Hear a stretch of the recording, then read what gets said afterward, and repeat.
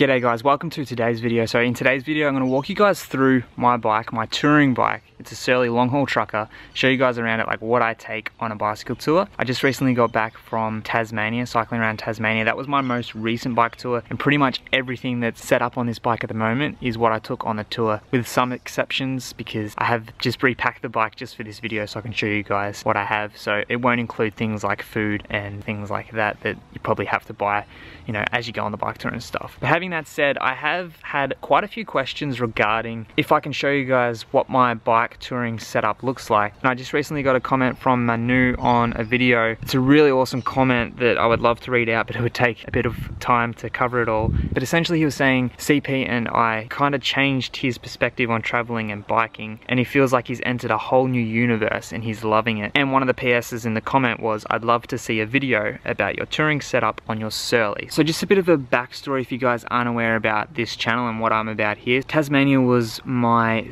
third bicycle tour. My first one was the United States, which was my first introduction to bicycle touring. A very amateur attempt at cycling across the state because it was very unplanned and I was not ready for it. But then the second attempt was Japan, cycling through Japan. It was a lot more improved and Tasmania is my third tour. And hopefully there's many more to come. I am possibly planning to do a cycle around Australia as well in maybe this year or next. I'm not 100% sure, but that would be super awesome to do. But just so you guys know, like I have made some progress from where I started. But I think I have a picture of the touring bike that I used in the States and the setup that I used. It kind of had a bit of a mountain. It's like I was riding with a mountain right on the back of the bike. Very unprofessional and still to this day I'm not professional. I'm just showing you guys what my setup looks like. So I think that's about it. So let's get into the bike and uh, we'll have a look at it. If you guys notice, I only have back panniers. I did cycle with front panniers with my first few tours, but I've managed to just be fine with having less stuff. So being minimalistic on a bike is pretty much super key.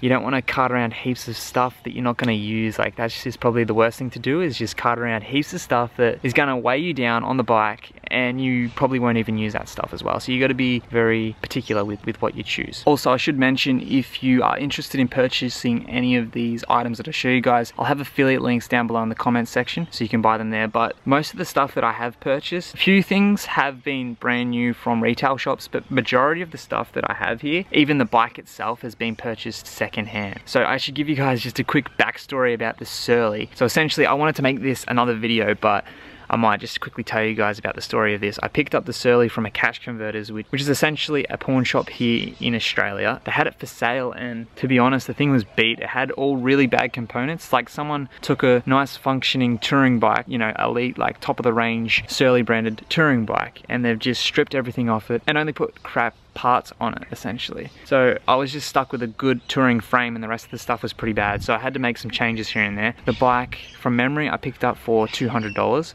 I might show you guys the bike itself before I get into all the, the other stuff that I have on the bike. Alright, so let's start at the front. So I have some front racks here which is what I did use for some front panniers. So I have a black Navara touring fork at the front here on a Surly long haul trucker bike, which is the frame.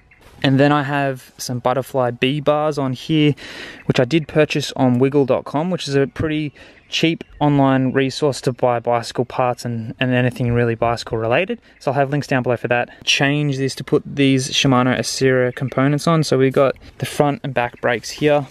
It is a seven speed on this side and on this side it's a three speed. And the pedals, these were original from cash converters. So these probably aren't original to the bike itself. However, these are pretty cool just to ride with something like these shoes. Just very casual. I'm also rocking some Schwalbe Range Cruiser tires on back and front. These are very good tires. I'm gonna have to upgrade these tires because they're being a bit worn. This bike is not in condition to go for another bike tour. I need to fix it up and do some adjustments here and there to get it running perfectly. Then the rear components we have is the Shimano Acera. Think that's how you pronounce it. I brought these brand new. However, the front here is uh, what the person had on this bike when I brought it used, which is definitely not the best. And I think I might upgrade this for my next tour possibly. And pretty much that wraps up the bike itself. So now I'm gonna get into the items that I have on the bike that I take with me on a tour. So I do have a saddle bag up here. This includes all of the tools that I need for the bike to pull the bike apart if I'm gonna fly with the bike and put it back together, etc. So it has things like Allen keys, it has spanners, it has all the necessities for tools for a bike, even a spare tube and repair kit and things like that. Then also if you guys can see just down here on the side, I have Velcro attached a pump, which is a super handy pump that just pulls off like this and then it comes out like that. You pull that up, has a little stand thing here where you can stand on it and pump. And it's a really awesome lightweight pump that does the job pretty well. Then also up there I have a handlebar bag which is pretty much all the daily use items, the small daily use items that I can store in there. So pretty much things like snacks, my mobile phone and things like that. So the brand for this is Bell. Looking inside, I have a Sony charger, portable charger. This thing is great for keeping the phone charged on the go. You get a few full charges, maybe a couple of charges of the phone on this thing. It's really good when you go camping when there's nowhere to charge or anything like that. And we also got the good old trusty phone. Also wallet and stuff goes in there. Headlamp goes in there as well it's good to have this easily accessible at camp and things like that when you need to look around in the dark and stuff. And also, considering I was in Tassie, we have a Tassie map in here. And like I said, I still got snacks in here, barley sugars, and, which was the main snack in Tassie. Then spare bike lights and things like that. Chapstick. And that is pretty much it. So having a look on the back setup of the bike, I have a tent, yoga mat, which is what I use for a mattress, and some shoes, which is normally what I attach to the back of the bike. This is normally all fastened on the back of the bike with a, a jockey strap or a tie down strap. So the tent is just a High Country brand tent, which is Australian brand, two man. Then just a thrifted yoga mat, which cost me like three bucks from the thrift. Then all there is left is these two panniers at the back. They are Ortlieb Waterproof Classic black bags. Very big bags. I'm not sure what liters these are, but I think it's pretty much super important to have waterproof bags on bike tours and so you can get caught out in the rain so many times and there has been a heap of times where I've been caught in the rain that I really was glad that I had waterproof bags to keep all of my stuff dry. But let's get into the bags and I'll show you guys what's inside.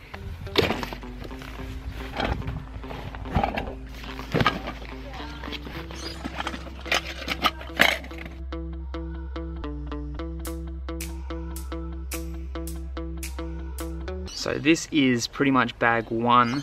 Not exactly all of the clothing that I would take. I might take a few more pieces of clothing here and there.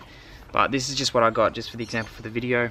So I'll take some pants, some shirts, a light jacket, and also pretty important are cycling nicks to add for more protection when you're on the bike, which is always handy to prevent chafing and things like that. My normal setup is very casual. It's just these nicks with some shorts like these with the nicks underneath. And then we've got some sunscreen or Aerogard or anything like that. Some toilet paper, you need that stuff. Also got a lock for the bike, which one thing I realized is you don't really need that when you're in Japan because it's a super safe country and people are just so honest. But if you just want that certainty, it's probably better just to have a lock just in case. Then moving over here, we have the camp stove, which is a Trangia. So essentially this unpacks, you get a plate and you also get one of these, which I did find out just recently. These are called a spondonical. Of all things, it's called a spondonical. And then knife and fork is always handy. Then inside here you get a teapot. And then this is the fuel system, where you put your flammable liquid in this. And you'll need some matches as well if you're gonna do this. Um, and then light it up. A couple of bowls in there. And this just comes out like this. You take that off and then that just goes on like that pretty much. And then also here we have the fuel for the Trangia. So this is a bottle that comes with the Trangia. So it keeps the liquid sealed and safe for storage. Also have a travel pillow. This thing's pretty cool. So it's the same brand as the tent. Essentially, that just comes out and you got yourself a pretty nifty little pillow. Spare socks, underwear and all that kind of stuff. And this thing is also pretty cool. I didn't take this on my Tasmania tour, but it is a pretty cool alternative for say a bicycle box or anything like that when you're traveling. So this is a bike packing bag. So I don't want to pull it out because it's pretty difficult to get back in, but essentially it's just a bag that when you pack up your bike, you can store it in this bag when you put it on the plane or anything like that. Moving on to the second pannier bag. We have a bag inside a bag. And then the other thing I have in this bag is just my sleeping bag. So this sleeping bag brand is a Roman and it's a zero degrees Celsius sleeping bag, which does the job pretty well for me. But let's get into this bag.